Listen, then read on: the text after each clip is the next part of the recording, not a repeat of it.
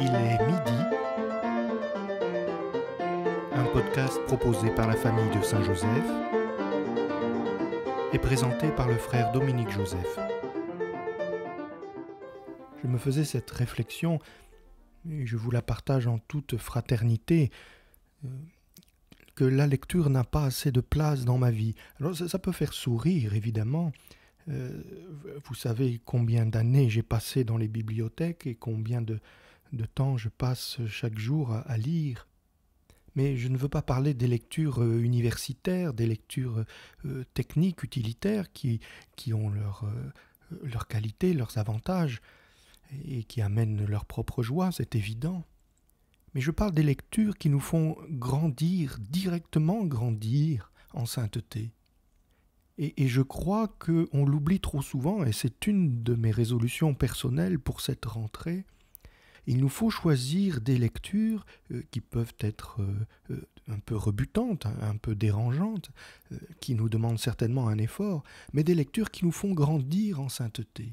On imagine facilement que le chemin de sainteté se parcourt sur deux pieds qui sont la prière et les œuvres de charité ou les œuvres de miséricorde. Eh il ne faut pas oublier que dans ces œuvres, il y a la lecture.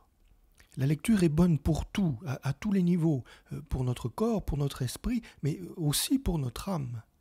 Elle développe la mémoire, c'est évident, elle, développe nos capacités de concentration, notre attention, euh, notre expression orale aussi, elle enrichit nos connaissances, notre vocabulaire, notre esprit d'analyse, notre esprit critique, elle nous donne aussi une paix intérieure. Beaucoup de gens sont stressés, sont anxieux, mais qui lisent, qui lisent.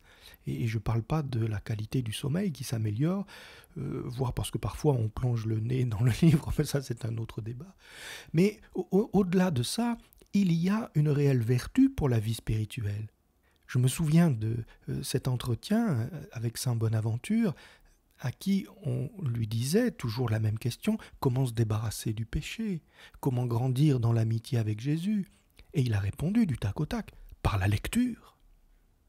Saint Bonaventure, c'est quand même un des trois grands. Enfin, je veux dire, euh, chacun a son petit podium personnel, mais enfin, on conviendra tous qu'avec Saint Thomas d'Aquin, Saint Augustin et Saint Bonaventure, on a le tiercé gagnant quand même. Et il répond Vous voulez grandir dans l'amitié avec Jésus Lisez. Je viens de citer saint Augustin, mais on se souvient comment sa conversion est liée à la lecture. Son fameux tolle legge, son appel à la conversion est un appel à lire les Écritures. Son appel à la conversion est un appel à la lecture. Et encore une fois, c'était un philosophe, c'est quelqu'un qui réfléchissait, c'est quelqu'un qui savait lire. Mais lire quoi ou lire comment? Peut-être cette pause du midi devrait être euh, le temps euh, retrouvé de la réconciliation avec des lectures que nous ne faisons pas assez souvent. Je ne parle pas simplement, et c'est déjà bien, de ces nombreuses revues de qualité qui sont faites pour nourrir la vie chrétienne, mais je parle de ces lectures euh, qui structurent, qui nourrissent notre âme et qui nous rapprochent de Jésus. La première de toutes, c'est évidemment la lecture de la parole de Dieu, évidemment. Mais vous vous souvenez encore de l'exemple que nous donne la conversion de Saint Ignace, qui s'est faite aussi par la lecture. Saint Ignace était sur son lit de convalescence, vous le savez suffisamment pour que je n'ai pas besoin de vous le rappeler, et après avoir euh, fini, achevé la lecture des, des romans de chevalerie, il était dans la tristesse, dans la sécheresse. Mais après avoir lu vies de saints qui étaient à sa euh, disposition, alors son cœur s'est enflammé et il a décidé à son tour de devenir un saint il existe une généalogie spirituelle, il existe une, contamination de proximité euh, de la sainteté par la fréquentation des saints, de, leur, vie et des bienfaits et de leurs enseignements.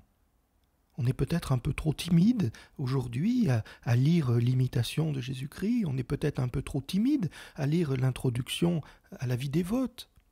Et puisqu'on parle de Saint François de Sales, euh, hier on, a évoqué euh, la figure de Saint Robert Bellarmin, mais regardons la, vie de cette époque-là, enfin de ces saints-là.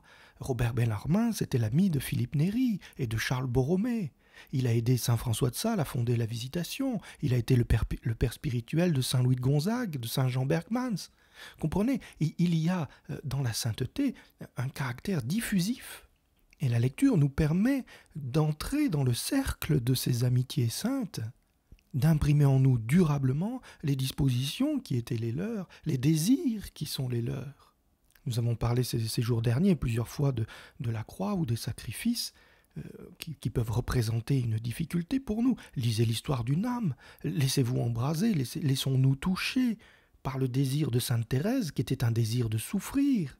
Ce désir-là nous manque toujours. Bref, inutile de, multiplier les exemples, je pense que vous êtes convaincus. Je voulais simplement aujourd'hui euh, vous partager cette euh, résolution personnelle de, retourner à la source bienfaisante euh, non seulement des écritures pour la gratuité de, la lecture, mais aussi de, l'enseignement et de la vie des saints. Frères et sœurs, il est midi. L'ange du Seigneur porte l'annonce à Marie.